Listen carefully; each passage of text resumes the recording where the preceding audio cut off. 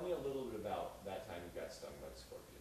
Um, I was cleaning my room, and I was actually organizing my shoes, and um, it like crawled up my leg and and stung my feet once on this foot and twice on the other. It, And On both It's feet? ten- What, did it jump across from one foot to the well, next? I kind of kicked and it Oh. kind of yeah. And you got stung, one crawled out of her dance bag one time. it too. had a long tail. Did it have a long tail? I know it was usually like that, but Yeah, Holy moly. And its tail was Long this guy. big. no. Yeah. But you guys, it's kind of like a bee sting, is that what it's like for you? Mhm. Yeah, And it's just my kinda foot got scary. numb. Yeah, Your foot got numb? How long did it stay numb? About day and a half.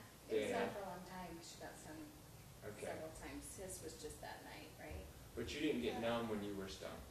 Uh, it took like a minute and then, And then did it stay numb? yeah, for like until the next month. Okay. It's like tingling. Little tingly? Okay. That, it means that you're a little bit more sensitive than, than most people. So you wanna watch it if they get stung and, it- and each time they get stung, they get a little bit more numb. They're sensitizing to it. Mm-hmm. And that's just something you need to be aware of. I don't think it's, it's a real bad issue. Some people, the first time they get stung, they go completely paralyzed for a little while, and Mhm. that's an extreme reaction. Mhm. Um, so you've been in the house then, you said, for a year and a half, Mm-hmm, and you moved in, it had been uh, empty for a while, right. and you have a normal Arizona backyard. I see that you have grass in the backyard, you've got some trees, and a drip system and irrigation, right? Right.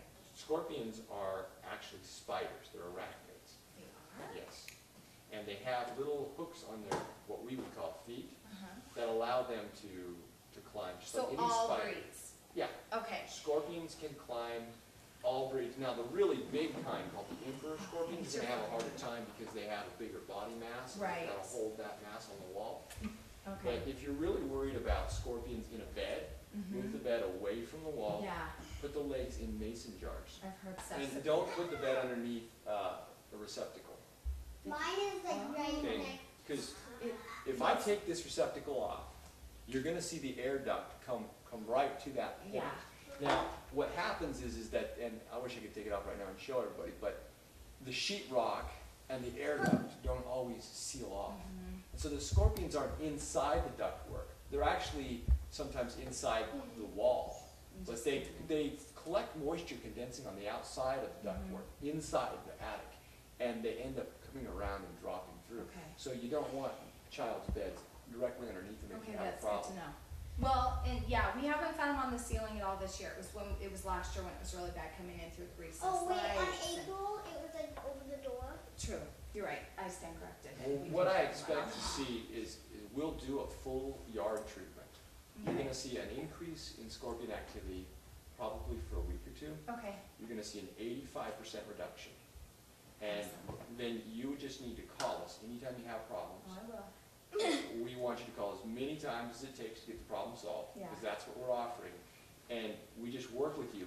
In about a year's time, you can get to the point where you'll never see a scorpion again, as long as we. So it is up. possible. Oh, absolutely. Okay, I've taken, I've taken houses where the night before I pulled hundred and seventy-two scorpions off the house and gotten them to the point where they don't have scorpions inside that gives me the awesome. So we That's my do it. goal. Yeah. As that's long what as I can thinking. have a summer where I'm not afraid to walk around my house. We'll we're get you good. there.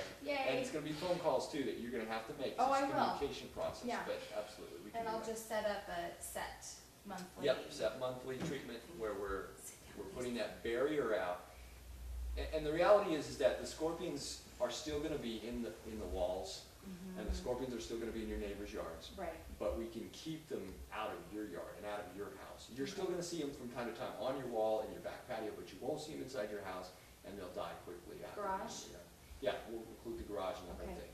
Now, there, there, there's a good chance that there's a number of them already in the framing of the house. Mhm. So that's why I'm saying an eighty-five percent reduction with, but uh, first we should time. plan on seeing some. yeah, you're gonna Okay. plan on seeing some, you're gonna plan on squishing some, but what we're gonna do is stop the new ones from coming in. Mhm. The ones that are in the framing of the walls will eventually die off Good. because there's not bugs for them to eat. Okay. They're, they're not in their natural habitat. We've gotta get rid of them off of your yard, and that's when Mhm. you're gonna stop seeing